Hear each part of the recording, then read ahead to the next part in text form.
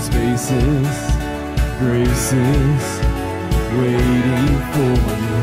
Dance like the weight has been lifted, graces waiting.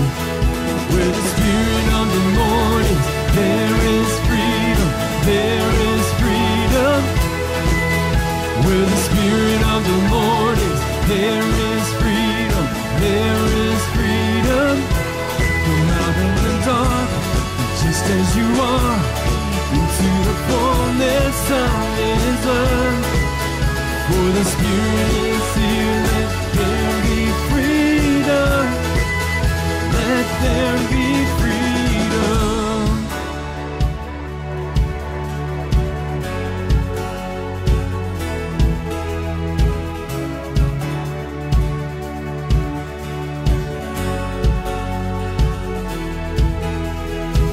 Chains will fall, prisons shake at the sound of Jesus' name. And lives made whole, hearts awake at the sound of Jesus' name. Chains will fall, prisons shake at the sound of Jesus' name. And lives made whole, hearts awake at sound of Jesus' name.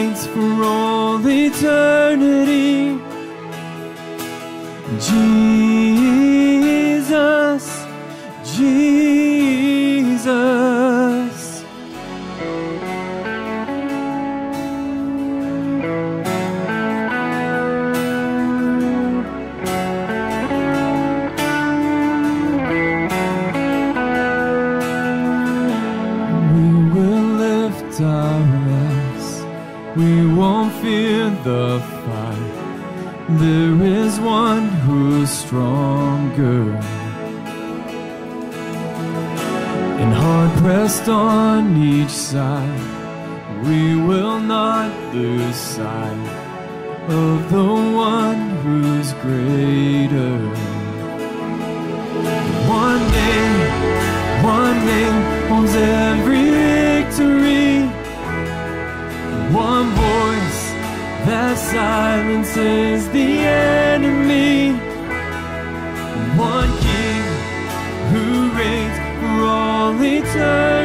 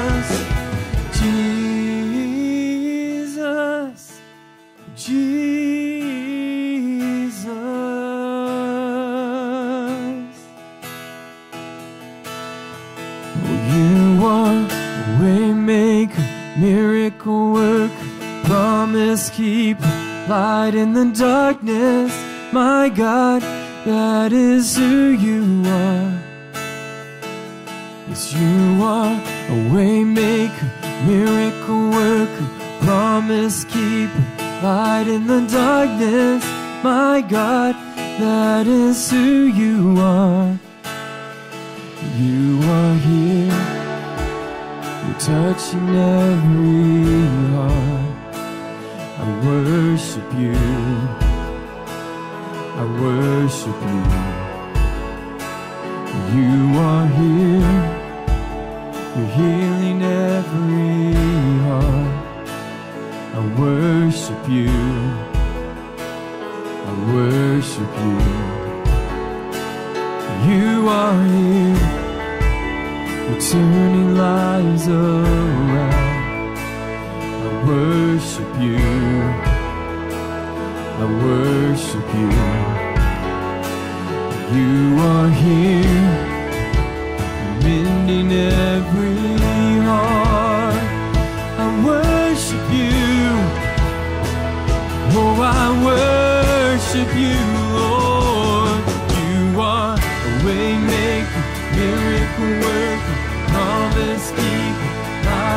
darkness.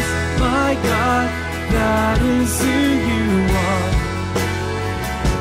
Yes, you are a waymaker, miracle worker, promise keeper, light in the darkness. My God, that is who you are. That is who you are. That is who you are. That is who you are. That is who you are. And even when I don't see it, you're working. Even when I don't feel it, you're working. You never stop, you never stop working. You never stop, you never stop working. Even when I don't see it, you're working. Even when I don't feel it, you're working. You never stop, you never stop working. You never stop. You are a waymaker, miracle worker, promise keeper, light in the darkness. My God, that is who you are. Yes, you are a waymaker, miracle worker, promise light in the darkness. My God, that is who you are. That is who you are. That is who you are. Yes, that is who you are. That is who you are.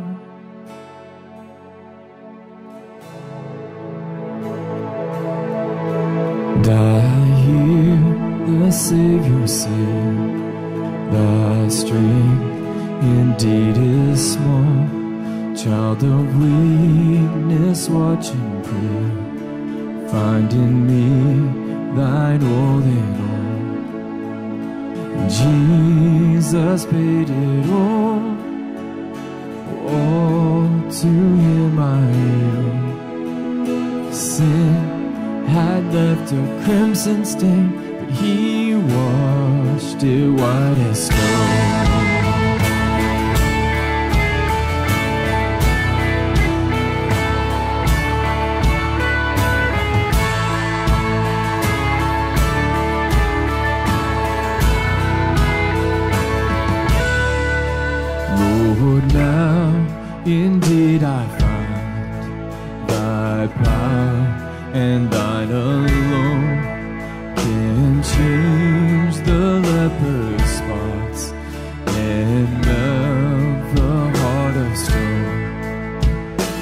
Jesus paid it all, all to him I owe. Sin had left a crimson stain, but he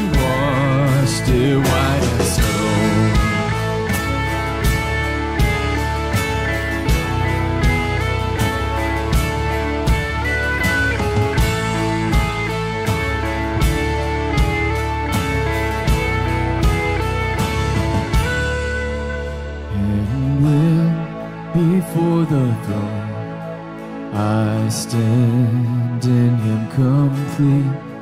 Jesus died my soul to save my lips shall still repeat. That Jesus paid it all and all to him I owe. Sin had left a crimson stain, but he washed it white as snow. Sin had left a crimson stain, but he washed it white as snow. Oh, he washed it white as snow. Yes, he washed it white as snow.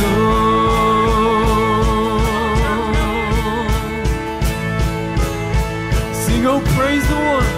Oh, praise the one I thought from dead. Oh, praise the one who paid my debt and raised us I thought from the dead. Oh, praise the one who paid my debt and raised us I thought from dead. Oh, praise the one who paid my debt and raised us I thought from the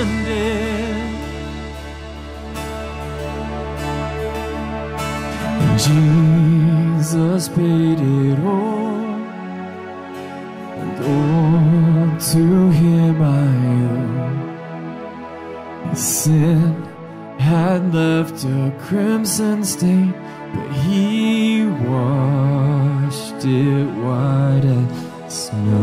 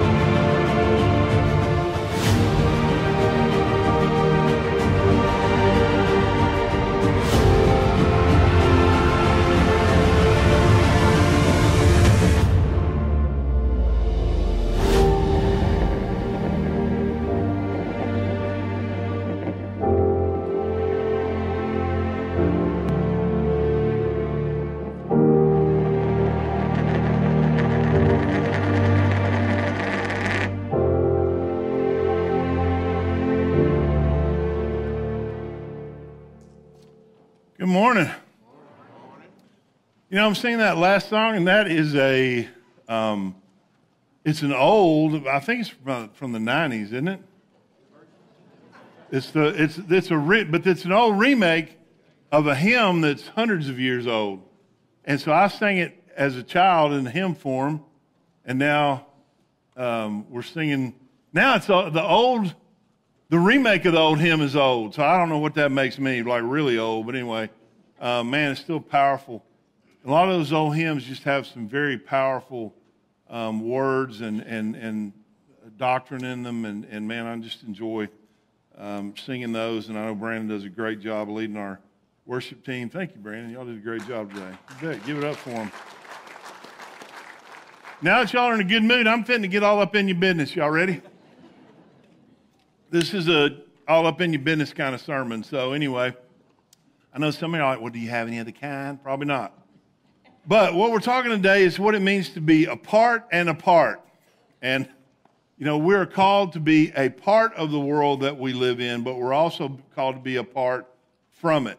And so there are the, the notes there. If you want to click on that, it'll open up the sermon notes for you and uh, you can follow along in the verses and uh, see those. But we're going to begin where Jesus uh, addresses this, and, and just so you know, he, he had talked about it numerous times about, um, you know, we live in a world where there are two kingdoms that overlap, and the, the dominion of darkness rules in this world, and yet they're not able to overrule God. God's reign is, is uh, uh, also uh, where we can see it. We've seen it through Jesus, and we're called to live in it. But we also live in a place that is dominated by um, the powers of darkness, and we can see that in our culture around us, in the, the lives of people, and the things that are that are going on around us. And so there's a lot of tension that comes in living in this place because it's God's creation, but it's been um, subjugated by sin. It was our sin that that wrecked God's creation, and the evil one has freedom to move and as however he chooses here on this earth. And so we live in this tension between being in this world or part of it, but also having been called to be apart from the system of governance that is here. You know, the Bible talks about there are uh, principalities and powers of darkness. And so Jesus talks about this in John chapter 17. If you want to go ahead and turn in your Bibles there, we're going to take up the reading in uh, verse 14. And one of the things that I, I love about this passage is it's one of the few, maybe the only places where not only is Jesus praying for the disciples that are there in the moment, but he's also praying with us in mind, and he prays for us in this passage of Scripture. And so um, it's a very meaningful passage because of that to me. But if you'd please stand in honor of the reading of God's word, uh, John 17, beginning in verse 14. I have given them your word, and the world hates them because they do not belong to the world, just as I do not belong to the world. I'm not asking you to take them out of the world, but to keep them safe from the evil one. They do not belong to this world any more than I do. Make them holy by your truth. Teach them your word, which is truth. Just as you sent me into the world, I'm sending them into the world. And I give myself as a holy sacrifice for them so they can be made holy by your truth. I'm praying not only for these disciples, but also for all who will ever believe in me through their message. I pray that they will all be one, just as you and I are one, as you are in me, Father, and I am in you. And may they be in us, so that the world will believe you sent me. Thank you, and you may be seated. You know, and Jesus talks about a couple things that we're going to talk about today, and that's that we're sent into this world by Him. We have a purpose while we're here. We're called to be a part of this world, and part of that purpose is found in Matthew 5 14 through 16. You are the light of the world, like a city on a hilltop that cannot be hidden. No one lights a lamp and then puts it under a basket Instead, a lamp is placed on a stand where it gives light to everyone in the house. In the same way, let your good deeds shine out for all to see so that everyone will praise your heavenly Father. When we live in this world, we're supposed to live differently. And it should be obvious to the people that we live amongst. And we live in a world, in a culture where if you're truly living for Christ, it is going to, to stand out more than probably at any other time in history. One of the things that I've thought a lot about is there, and I thought about it in two 40 year increments. Um, 1940, what the world was like then. Now, I wasn't born then, so, you know, don't get all excited. But till 1980, there was a, a sizable difference in the things that were acceptable and in the way the world operated and what the world thought was okay and wasn't. And that's one 40 year break. Now, if you look from that to now, from 1980 till 2022, that's, we've had a much bigger jump, a much bigger drop in morality, a much bigger drop in adherence to God's word and respect for the things of God. As a matter of fact, in 1940 and 1980, the, the, one of the things that would have remained constant was that most people, the vast majority of people, would have told you they believed in God. And they would have told you that God's word was true. And now, in the last 40 years, that number has diminished rapidly, even inside the church sometimes, about how many believe there is a God and how many believe that his word is true. That, that number has changed drastically in the last 40 years. And one of the things that I want you to think about is as big of a drop as there's been in the last 40 years, from 1980 until now, what do you think that's going to look like 40 years from now in our current tra- trajectory and the path that we're going? In the 40 years from that are in our future, we're going to be fighting against things just like our a lot of people who were here in 1980 we're fighting things that we never thought we would fight. And in 40 years, and in those 40 years that are ahead of us, we're going to have to fight things that we never thought we would fight. One of the things that I'm going to tell you right now that we're going to have to, to fight as believers and as people in this country is we're going to have to fight what is going to be a concerted normalization of uh, pedophilia. That's, that's coming. It's already begun, and it's going to come even more. And you're going to get to a point where you're thinking, I cannot believe we're arguing about this. Just like we're arguing right now about what is a woman and about what gender is and all that. I never would have thought 40 years ago that that would be something that we would be arguing about, and yet here we are. I never would have thought that we would have a nominee for the Supreme Court of the United States of America who could stand up and in direct testimony refuse to give a definition for what is a woman. I never would have thought we would be there. And you, you, you keep thinking, well, this is as far as it's going to go. But I'm telling you, we have not even in our minds conceived of the, the kind of evil that the enemy has in store for us. And yet, this is a world that we're called to be a part of. We're called to live in such a way that our good deeds shine before men so that they may give glory to our Father who's in heaven. If you live as a believer you're going to have you're going to experience this at some point. Somebody's going to come up to you and say hey you're different. Why are you different? They're going to want to know what it is. And at that point the bible tells us we need to be prepared to give an answer for the hope that is in us. And that hope is jesus. And so you're going to have an opportunity. If you're living for christ at all that's going to stand out. If you're living a life that's trying to follow the lord and follow the things of god that's going to stand out more than ever in the times coming up as they did in the times than they did in times past. And that's part of our mission. In Matthew 28, 18 through 20, Jesus came and told his disciples, I've been given all authority in heaven and on earth. Therefore, go and make disciples of all the nations, baptizing them in the name of the Father, and the Son, and the Holy Spirit. Teach these new disciples to obey all the commands I've given you, and be sure of this I'm with you always even to the end of the age. That's called the Great Commission. And that's what our church operates under and what we operate under. We believe it is our job as a church to give the good news of Jesus Christ to the people that we come in contact with, to find ways to reach out in our community, and we do that. We do that at a local level. There are ways that, that we, uh, we support ministries that are here in our town that reach out to people, um, whether it's the uh, um, the Center of Hope, where we help and provide food and services to people in our community. We do that as a means of, to reach people for Christ.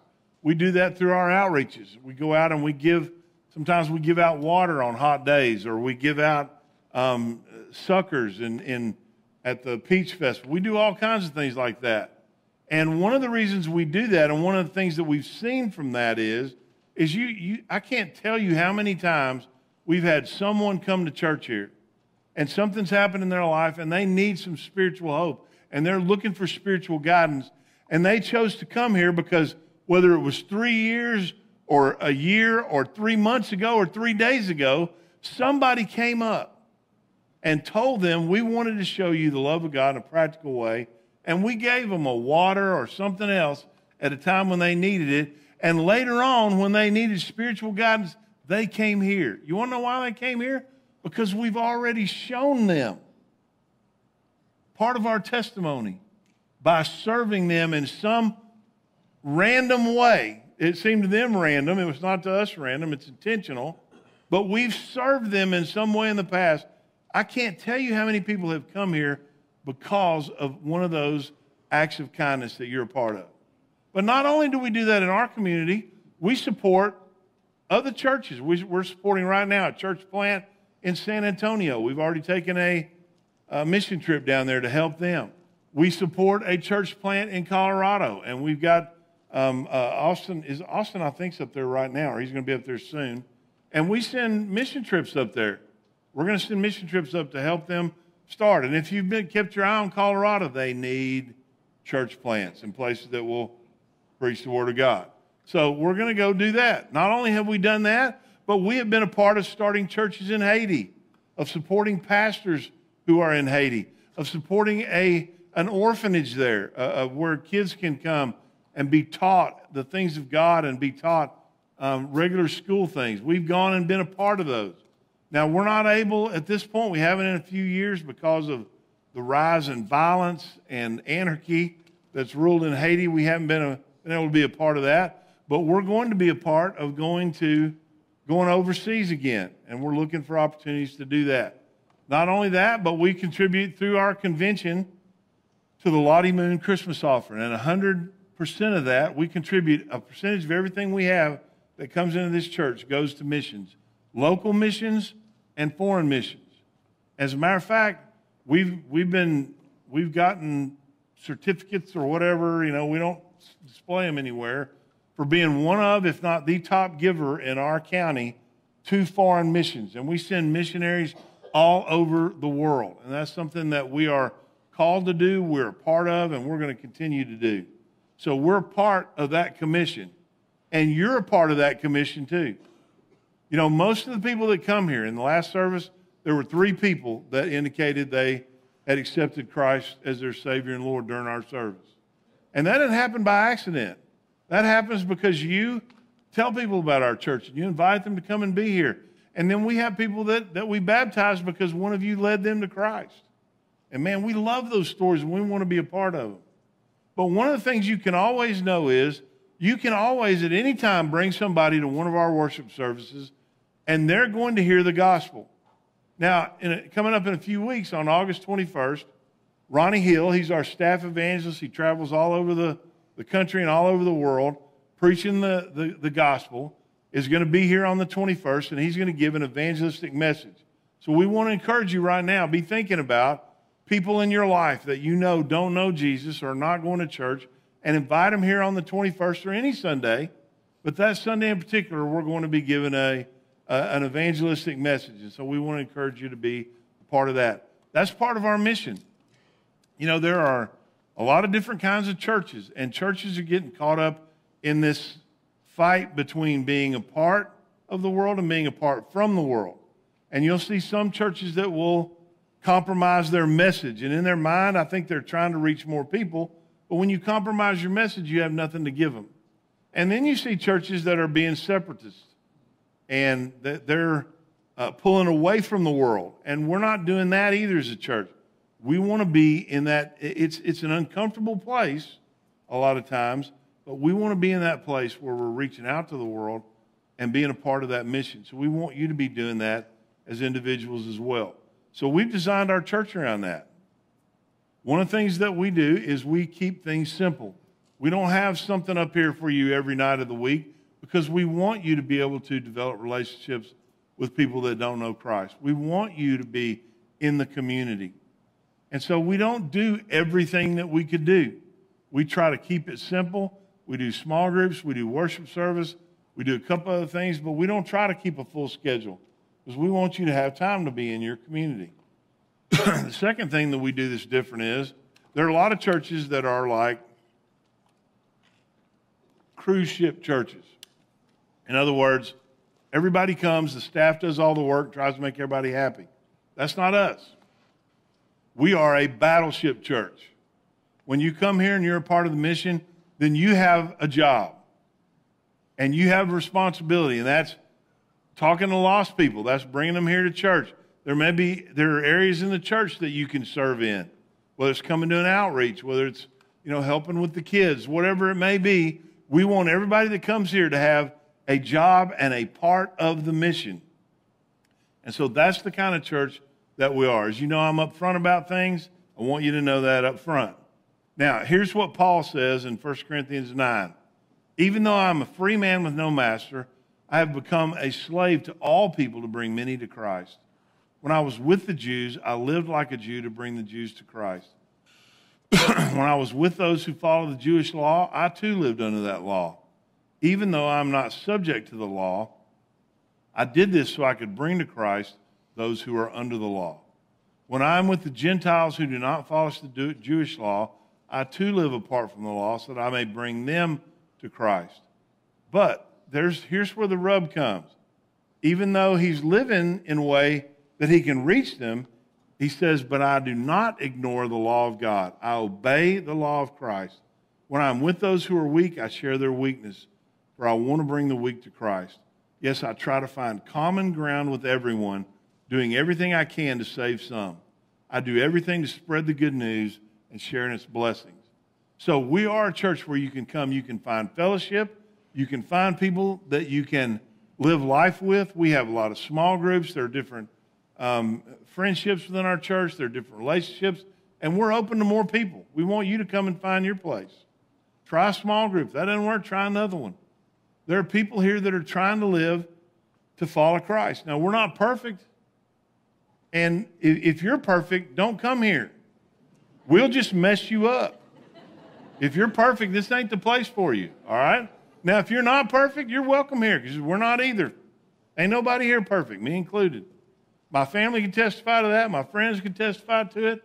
And a couple of um, French bulldogs, if they could talk, would squeal on me like nobody's business.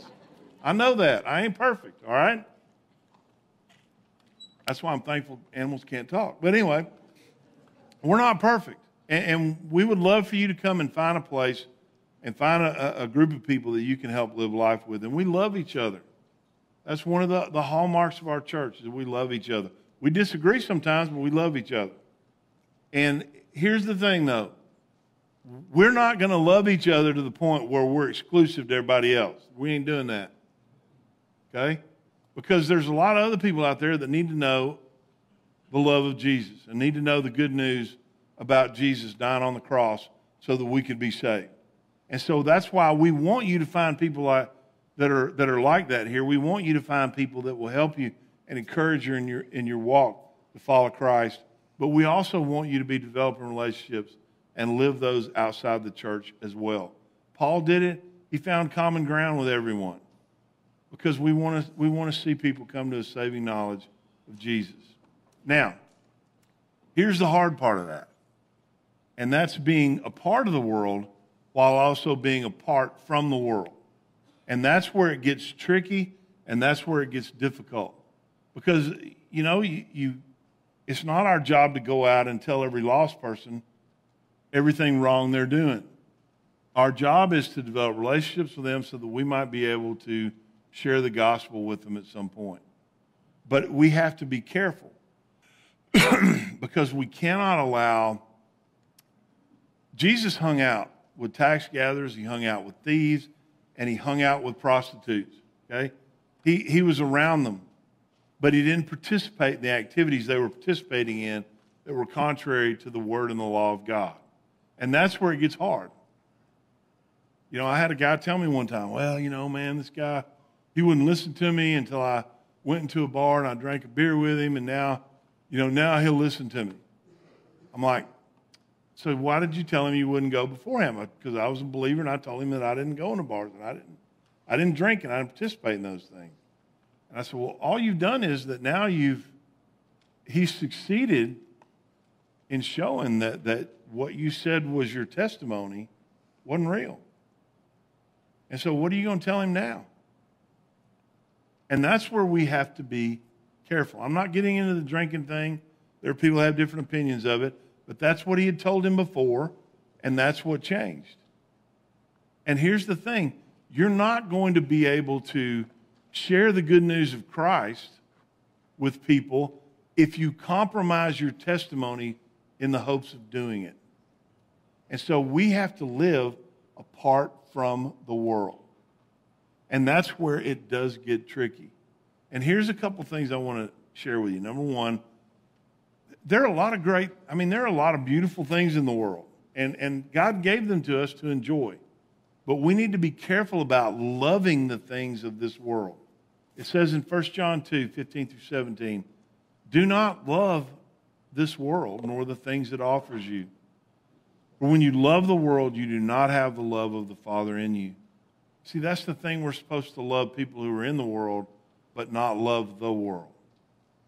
Here's the deal for the world offers only a craving for physical pleasure, a craving for everything we see, and pride in our achievements and possessions. These are not from the Father, but are from this world. And that's all the world has to offer is a craving. And it's a craving that can never be satisfied through what the world offers. Have you noticed, you know, like when when there are commercials for this or that, or there's something the media is putting forward, it's always like a perfect world. And everybody's like, man, that's cool. I mean, they don't show a bunch of people, beer companies don't show a bunch of people laying around passed out in their own vomit, do they? You know what they show? Are the beautiful people that seem like, man, they're, they're having the perfect life. They're out on the beach enjoying the sunset. They're having all this fellowship together. They don't show you what's coming after. All they're doing is giving you a craving for something that that can't fulfill. You know, man, if you if you buy this brand of beer, all the beautiful girls will want to go out with you. I mean, it's a it's a an illusion and it is deceit. And we need to be careful about buying into that. It's a craving for everything we see and pride in our achievements and possessions, these are not from the, from the Father, but are from this world. And this world is fading away along with everything that people crave. But anyone who does what pleases God will live forever. You know, we spend too much time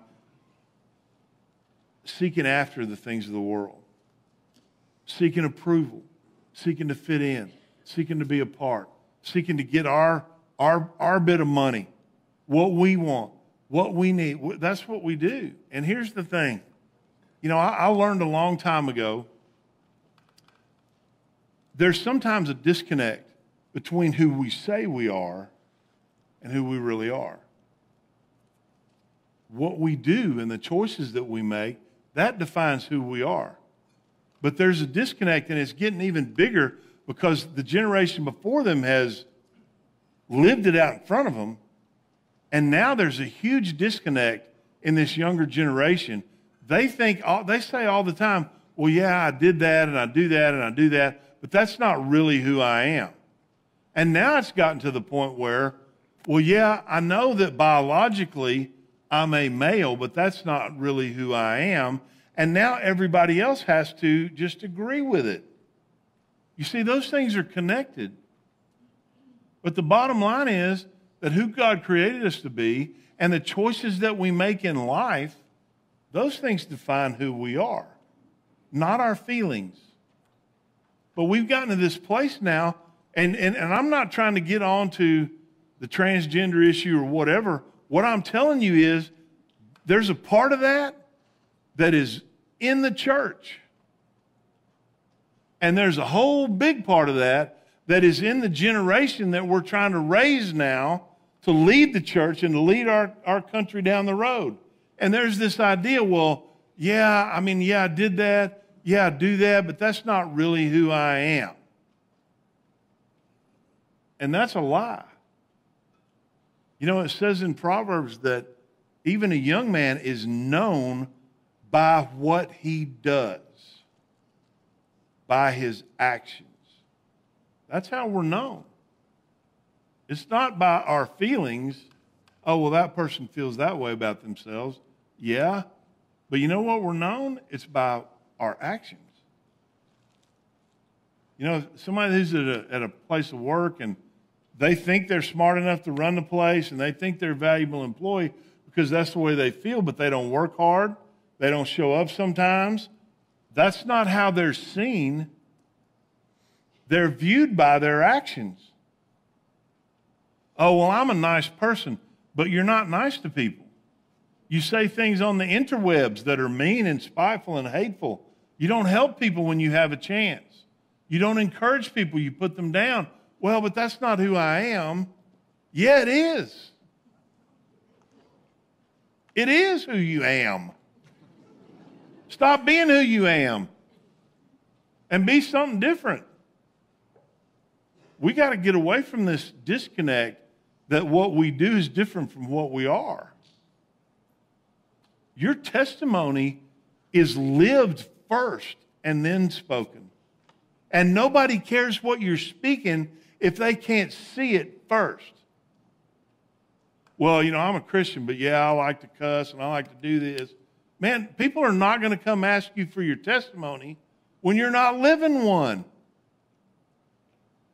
You got to live it first. I told y'all I was going to get up on your business.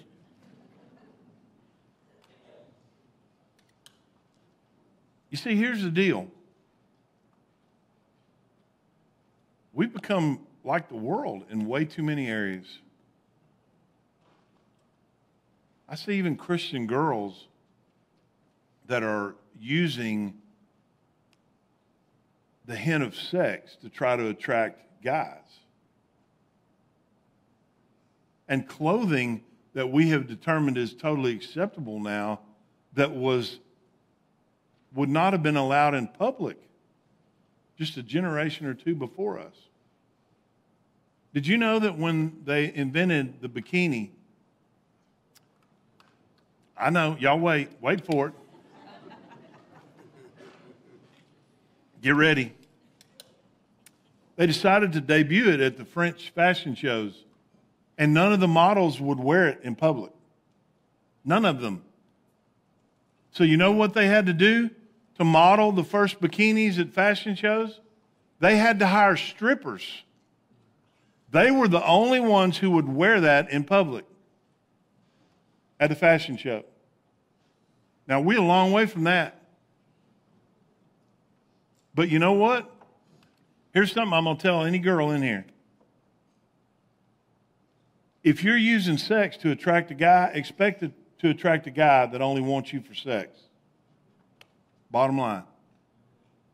And guys, I'm going to tell you if you're seeing girls as something that are there for your amusement or to use, I want you to understand they are co heirs with Christ.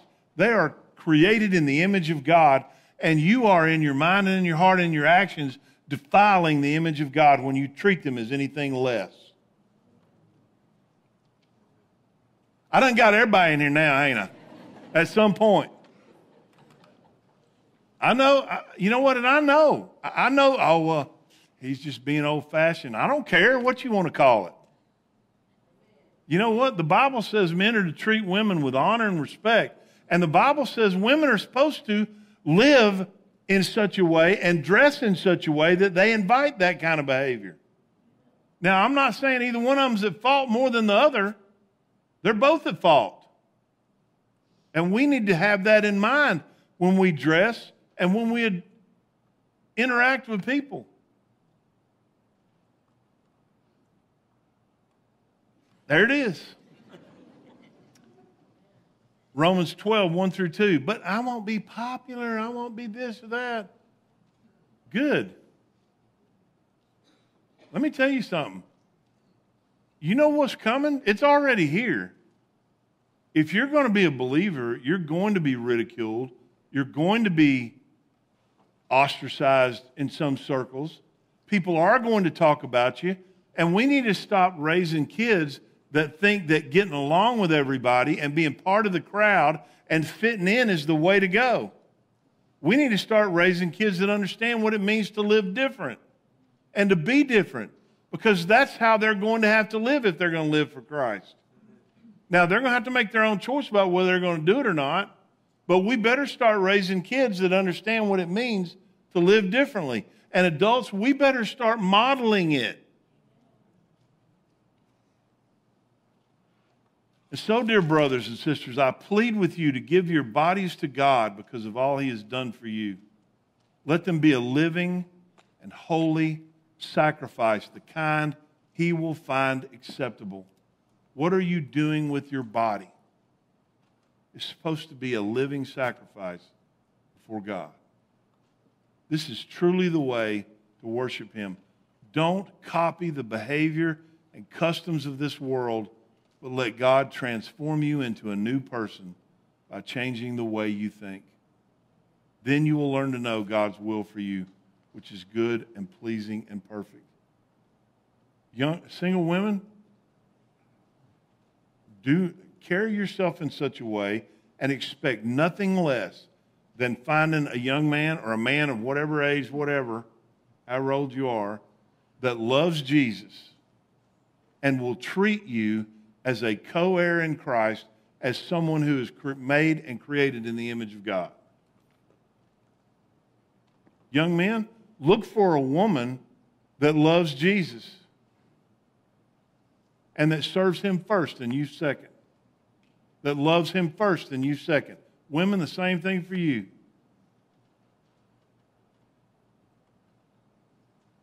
I want you to look around at some of the relationships of people that are that are living life and going about things the same way you are? Are those relationships that you really want? Find, quit looking around at people that, oh my gosh, they're Facebook official and it's so beautiful and so cute. I want that. Quit looking around at people that have been together for four months.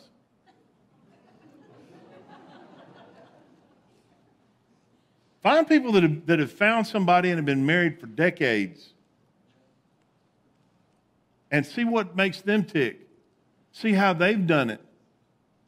And look for that.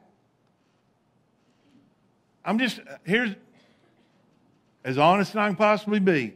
At some points, it don't matter how cute they look in their jeans. It's going to change at some point.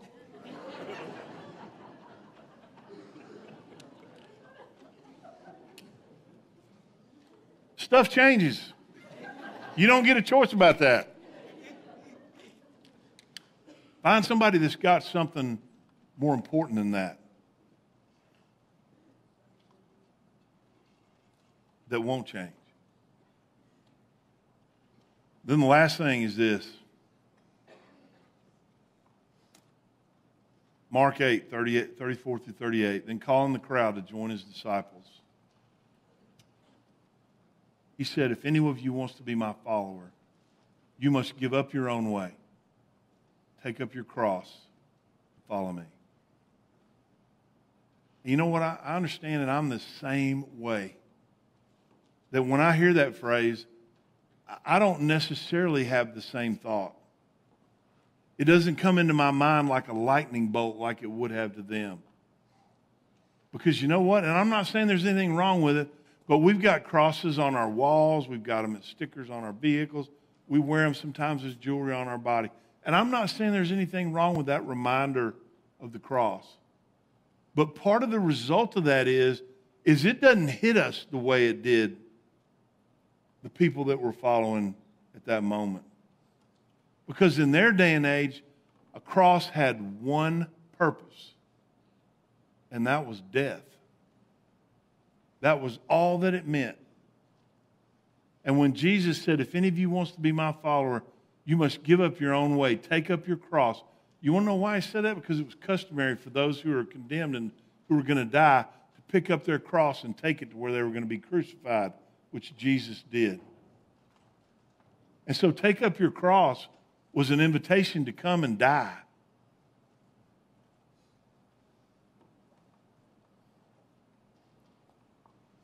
If you try to hang on to your life, you're going to lose it. But if you give up your life for my sake and for the sake of the good news, you will save it. And what do you benefit if you gain the whole world but lose your own soul? Is anything worth more than your soul? You know, here's part of the thing. Jesus told us he was coming back.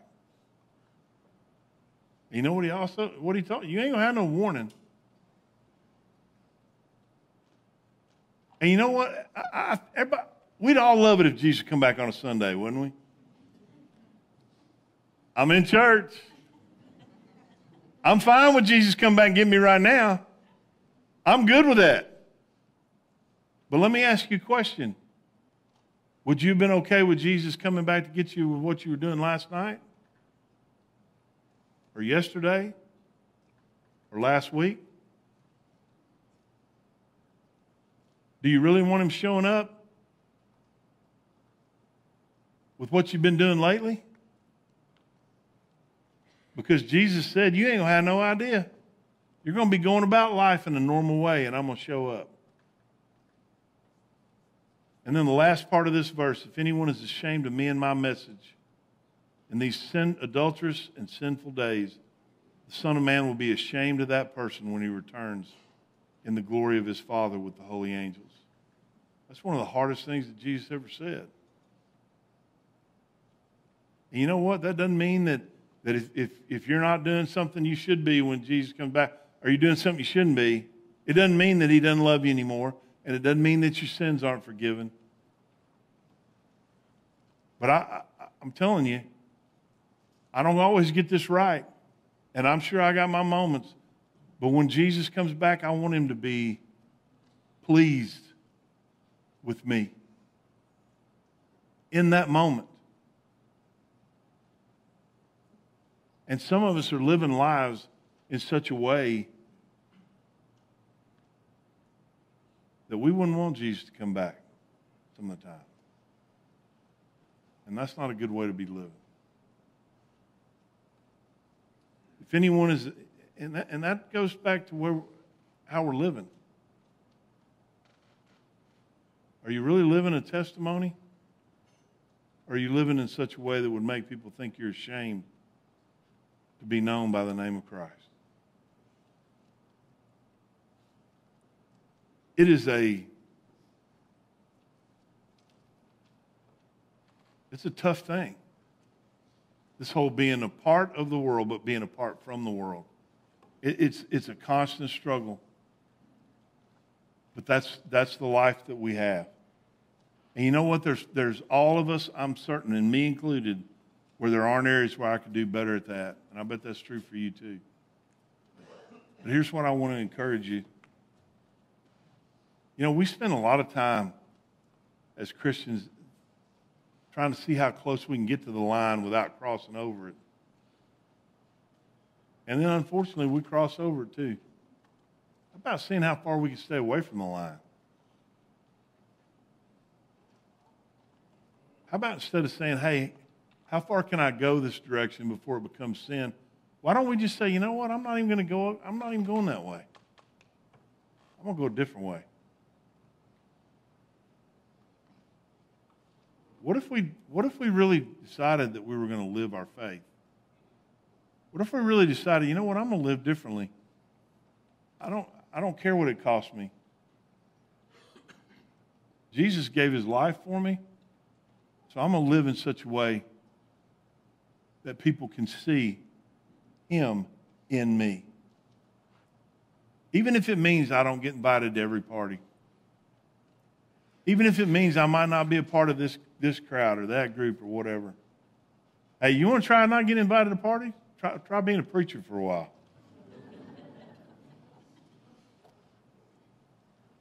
Try it. I mean, I'm okay with it. I'm not really that much of a party guy anyway. But try living in such a way. Because here's the thing at some point, we're all going to stand before Jesus. And when you do, as a follower of Jesus, when you're standing before Him, there is going to be nothing that has happened up to that point that is going to be more important than the hope that you're going to hear from Him well done, good and faithful servant. At that point, there's not anything that's going to be more important than hearing those words. But you want to hear them? We got to live it now. We got to do it now. There's a whole world that's going, going to hell. No idea about Jesus. God sent us into the world with the good news of Jesus Christ, and we're supposed to live as though we believe that it is true. There's some of us that could say it, but we ain't showing it. We'll tell people that we believe it, but we're not living like we believe it. We need to start living like we believe it. We need to show first and then tell. Be a part of the world, but be apart from the world. It's a tough place to be. It's uncomfortable sometimes. It's difficult. It may feel awkward, but it's the right thing to do. It's the best thing to do. And just like Jesus said, anyone who wants to follow me, it begins with a relationship with Christ. There's three simple things you've got to do to begin a relationship with Christ. Number one, you got to admit you're a sinner. We're all sinners here. I've already been through that. I've sinned. You've sinned. We've all fallen short of the glory of God.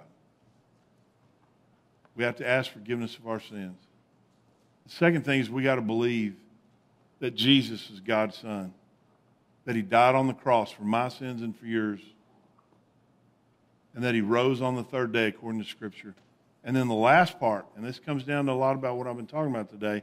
The Bible says in Romans 10 9 and 10 that if you confess with your mouth the Lord Jesus and believe in your heart that God raised him from the dead, you will be saved. That confessing Jesus as Lord, within that means that we got to turn away from our way of living. That means repent of your sins. Repent just simply means to turn away from them. It doesn't mean to show all this remorse. I mean, it, there will be some of that. But that's not what repent means. Repent's not an emotion, it's an action. It's turning away from our sin and our way of living and turning to Christ. It's that simple. And if you'd like to do that, if you'd like to know your sins are forgiven, if you'd like to know that you have peace with God through relationship with Christ, and if you'd like to know that you're going to be with Him for all of eternity, your relationship with Jesus. If you don't have that assurance and you don't know that, but you'd like to, I want to invite you to pray this prayer of salvation with me today. I'm going to ask that everyone would bow your heads, close your eyes. I'm going to pray it. You can repeat it after me. It'll be short and simple. You don't have to pray it out loud. God will hear you no matter what. But pray it with me right now. Dear God, thank you for loving me. And thank you for Jesus. God, I know I'm a sinner. Forgive me of my sins. Come into my heart and life. Cleanse me. I believe Jesus is your son. I believe he died on the cross for my sins. And I believe he rose on the third day according to Scripture. So today, I trust Jesus as my Savior, and I confess Him as my Lord. Now, if you prayed that prayer today and you meant it, here's all I'm going to ask you to do. You don't have to stand up, you're not going to have to make a speech. I just want you to, with everybody else's eyes closed and head bowed, if you prayed that prayer today and you meant it, I want you to look up at me right now and keep looking until I see you. Okay? All right? See you. Okay? All right?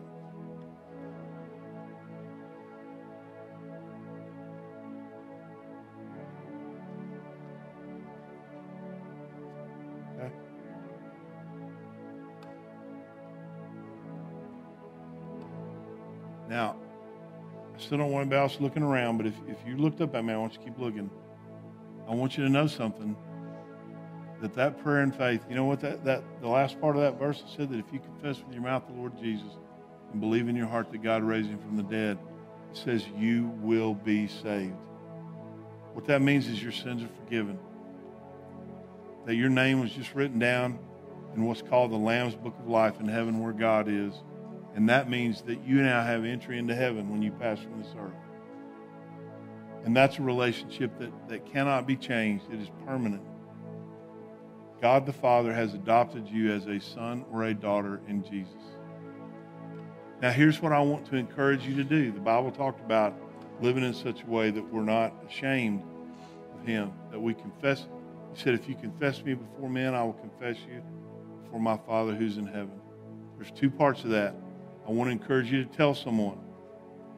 There's different ways of doing that. John, our youth pastor, will be standing here at the, the front and he'll dismiss us with prayer at the very end. And if you'd like to talk to someone today, what we'd love to do is talk to you, answer any questions, and talk to you about the next steps in following Jesus. If you got time and you'd like to talk to somebody today, he'll set that up with you and have somebody talk with you today. If you don't have time and you'd rather do it some other time, there's a number on the screens and a QR code. You can open it up, type it in, or you can just text, I did it to that number, and we'll get with you and set up a time either on the phone or in person. But like I said, answer any questions and talk to you about the next steps in following Jesus. We're not going to ask anything from you. It doesn't mean you're joining the church. You're welcome to do that at some point, but that, that's not what this is. We're not going to put you on a mailing list, and we're not going to bug you. We simply want to help you take the next steps in following Jesus. And so I would encourage you to tell someone about your decision to trust and follow Him. I want to pray for you, and I want to pray for all of us that God would help us to live in that place of tension of, of reaching out and loving those who don't know Christ while not being a part of the world. So let's pray. Dear Heavenly Father, we thank you, God, for your mercy, for your grace. Thank you for those that made a decision today to follow you. I pray, Lord, that you would speak to them, that, um, Father, as their sins are now forgiven, that, God, you would send believers into their life to encourage them, that as they open up and read your Bible, that they would hear you as you speak to them and teach them. And Father, help them to find the right church where they can grow and hear the Word of God. Father, we thank you for allowing us to be a part of their spiritual journey. Lord, help us, Father, to live for you, even when it's hard, even when it costs us something, even when we feel like it's a sacrifice. Father, to live that kind of life for you, for the world. Father, we pray and we ask these things in Jesus' name. Amen.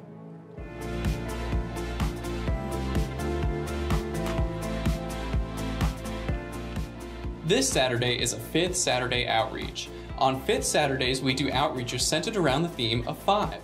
This Saturday, July 30th, we will do a five hour, $1 car wash.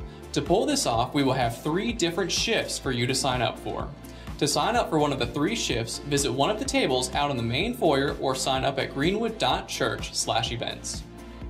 Our final Greenwood Family Fellowship of the summer will be Sunday, July 31st from 6:30 to 8:30 p.m. at Splash Kingdom Water Park. We have bought out the park for the night, so it will just be our Greenwood family there. Please remember, ladies, we ask that you wear a one-piece swimsuit or a cover-up, and men wear appropriate length shorts. Tickets are just $7, so go online to greenwood.church slash events and purchase yours today. Children 2 and under get in free. August 3rd will be our church wide Welcome Back Wednesday. We will be having both a night of worship for adults and students 6th to 12th grade and a back to school bash for kids pre K to 5th grade. The kids can be checked in at the cabin across the street beginning at 6:15 p.m. They will be eating pizza, playing games, and enjoying Funky Monkey snow cones. Kids younger than pre-K will be checked in at their normal location. Once you've dropped off your kids, come join us for our Greenwood Night of Worship, where we will gather for a powerful time of celebrating and worshiping God. We are so glad you were able to join us this week. You can give your tithes and offerings online at greenwood.church/give or by dropping them in one of the black boxes marked offering located in the back of the worship center and in the foyers. Now, here's one of our pastors. Thank you. If you would stand with me, we'll pray and we'll be dismissed. Father God, we do thank you for the opportunity to come and to worship together as a family. And Father, we pray that as we leave here, God, that we would be the church that you've called us to be. In Jesus' name, amen.